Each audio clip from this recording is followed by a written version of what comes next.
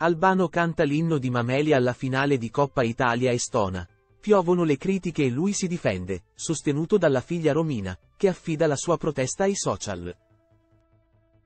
Albano Carrisi ha certamente un gran numero di fan, ma deve sopportare le critiche di un pugno di detrattori, che lo hanno ad esempio criticato per la sua esecuzione dell'inno di Mameli alla finale di Coppa Italia Atalanta-Juventus, che è stata giocata allo Stadio Olimpico di Roma.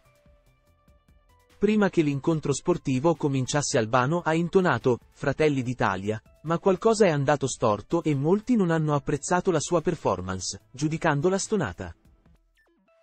In difesa del cantante è intervenuta sua figlia Romina Carrisi. Albano riconosce di aver stonato ma la figlia Romina lo difende. All'indomani della sua interpretazione dell'inno di Mameli, Albano ha riconosciuto di aver stonato. Nella sua lunga dichiarazione alla presse si legge, Ormai ho capito che c'è una parte dell'Italia che stravede per me e un'altra che non mi sopporta, ma questo è successo anche a Cristo, figuriamoci a un povero cristiano come me. Se ho steccato? Sì, lo ammetto, lo dico io per primo anche perché se n'è andata un po' la voce e, quando non senti, la voce se ne va per affari suoi. Cantare in uno stadio tra i tifosi?